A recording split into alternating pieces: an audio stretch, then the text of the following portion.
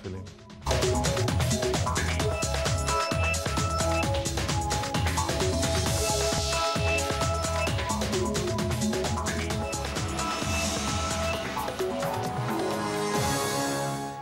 אתר ויקיליקס חשף לאחרונה שה-CIA פיתח יכולות לפרוץ למערכות הפעלה של מחשבים, מכוניות אוטונומיות, טלוויזיות חכמות, אפילו מכשירי חשמל שיש לנו בבית פשוטים יחסית. האם אנחנו צריכים להתרגל לעובדה שעוקבים אחרינו כל הזמן, או שיש דרכים להשתלט ולעצור את החשיפה הזו? אנחנו אומרים שלום לעידו סיוון סביליה, עמית מחקר בתוכנית סייבר של המכון, סליחה, למחקרי ביטחון לאומי. אהלן. בן. קראתי את המאמר שכתבת בעניין הזה, אני אומר, אולי בעצם בואו נגיד לעצמנו, חבר'ה, זה, זה העידן, כל מה שאנחנו עושים שקוף, הגיע הזמן להשלים עם זה, ולא ננסה, אתה יודע, להילחם ב- ב- בסייבר, שאתה אפילו לא יודע איך זה נראה. אה, נכון, נכון. זאת אומרת, על פניו, אנחנו לא אמורים להיות מאוד מאוד מופתעים. זאת אומרת, זו סוכנות מודיעין, זו תפקידה. אתה מצפה שסוכנות מודיעין תמקסם את היכולות שלה, לדלות מידע מהיכן שהיא יכולה עבור הצרכים שלה. אבל אני חושב שהגילויים האלה אה, מעלים על האג'נדה אה, שלושה נושאים חשובים. ראשית, המתח בין ביטחון לפרטיות אה, אה, נוכח באופן הרבה יותר תדיר במרחב הדיגיטלי. אם אנחנו במרחב הפיזי, אז אה, אנחנו מוכנים לוותר על הפרטיות שלנו באופן זמני, במעברי גבול, בשדה תעופה. פתאום במרחב הדיגיטלי... אנחנו במכונות רנטגן, פושטים ידיים, אבל זה, כן, זה מוגדר. בדיוק. זה נשלט. ואנחנו בסדר עם זה. יש פה סיכון ביטחוני, אנחנו עוברים ממדינה, ממדינה למדינה ומקבלים את זה. אבל פתאום הוויתורים האלה קורים באופן הרבה יותר תדיר, ללא ידיעתנו. כשאנחנו גולשים בסמארטפון, כשאנחנו בסקייפ, כשאנחנו בפייסבוק, כשאנחנו שולחים אימייל. Uh, הדברים האלה קורים מאחורי הקלעים בלי שאנחנו יודעים. ואנחנו, כשאנחנו כל כך מושקעים היום בפרקטיקות דיגיטליות, מהווים פלטפורמה אדירה לסוכנויות המודיעין. הדבר השני, זה בוא נבין רגע מה המדינה בעצם עושה כאן. המדינה מחלישה אה, ביודעין עבור הצרכים שלה את מרחב הסייבר. אה, וזה מראה בעצם את התפקיד הכפול של המדינה. מה זאת אומרת? למה המדינה מחלישה? הרי ברגע שיש לך אלמנטים אלקטרוניים, אז זו פרצה שקוראת לגנב. אתה לא יכול להגיד לארגון מודיעין כמו ה-CIA, אני מניח שזה לא רק ה-CIA. נכון. אה, אה, אתה לא יכול להגיד להם, חבר'ה, יש לכם אפשרות עכשיו להיכנס לחדר השינה של בנימין נתניהו, או פוטין, או, או סיסי, ודרך ה gadgets הרבים שיש שם, אתם פשוט שומעים כל מילה.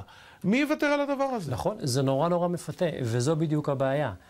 יש כאן אה, חתירה להשגת מטרות ביטחון קצרות טווח, כשב long run, בטווח הארוך, כל מרחב הסייבר נחלש. אנחנו יודעים, על סמך מה שסנודן סיפר לנו, בפרטי פרטים. הוא סיפר לנו איך ה-NSA דואג שההצפנה שכולנו משתמשים בה תהיה פחות חזקה. הוא סיפר לנו איך הסקייפ שלי ושלך, על מנת לערוך שיחות וידאו, הפך לפחות חזק. איך ה-NSA והממשלה שואפים להקמת... לא, לא כל כך לגמרי, לגמרי מבין את הקטע הזה של הנחלש. מה זאת אומרת, זה, מה הקשר לנחלש? זה, זה ההפך, הוא לדעתי הוא מתעצם, רק הוא חדיר. הוא חדיר, וזה אומר שאם זאת אומרת, הוא... אני לוקח מנקודת הנחה שכל מילה שאני כותב או אומר, כשאני ליד הטלפון שלי או כשאני במחשב שלי, זה דבר שהוא בחלון ראווה. נכון, אבל הטכנולוגיה אינה מבחינה בין שחקן כזה או שחקן אחר. הטכנולוגיה היא חלשה כתוצאה ממאמצי המדינה, אבל לא רק, ו... ואנחנו לא יודעים לאן היכולות האלה עלולות לזלוג. זאת אומרת, פעם לפתח נשק שובר שוויון, למדינה היה יתרון בכמה סדרי גודל על שחקנים אחרים. היום אנחנו יודעים שקבלני משנה, שחקנים פרטיים, חברות מסחריות עובדות בשירות מדינות, מדינות על מנת לנצל פרצות במרחב הסייבר. אין לנו שליטה אה, על הזליגה של ההחלשות האלה. אתה יכול להשתלט על זה? אה, אז זאת בדיוק, זאת בדיוק הנקודה, ואני, ואני אסיים, ב, אה, או אני אגיד, הנקודה השלישית היא קצת יותר אופטימית אולי. אנחנו כבר לא מופתעים, כמו שאמרנו בהתחלה. אנחנו בעידן, אם תרצה, של פוסט מעקב. ברור לנו שעוקבים אחרינו. כמו שאמרת בהתחלה, ועכשיו השאלה, לאן אנחנו לוקחים את זה? ואתה רואה איזושהי תגובת נגד לטובת פרטיות. למשל, חברות ענק כמו אפל או כמו מייקרוסופט יוצאות בפומבי ולא משתפות פעולה באופן אה, כמעט אוטומטי, כפי שהיה בעבר, עם המדינה. ראינו את מקרה אפל וה-FBI, אנחנו יודעים מה מייקרוסופט עושה כשרוצים לקחת מידע שנמצא על שרתים בכלל באירלנד, מחוץ לתחום השיפוט של ארה"ב. בקונגרס עברה איזושה, איזושהי חקיקה. ועדיין אתה תלוי ברצונה הטוב של אפל, ברצונה הטוב של מייקרוסופט, ולך תדע אם הן בעצמן לא עושות מניפולציה על ה... הכמות העצומה של מידע יקר ערך לצרכים מסחריים, אתה יודע, ל...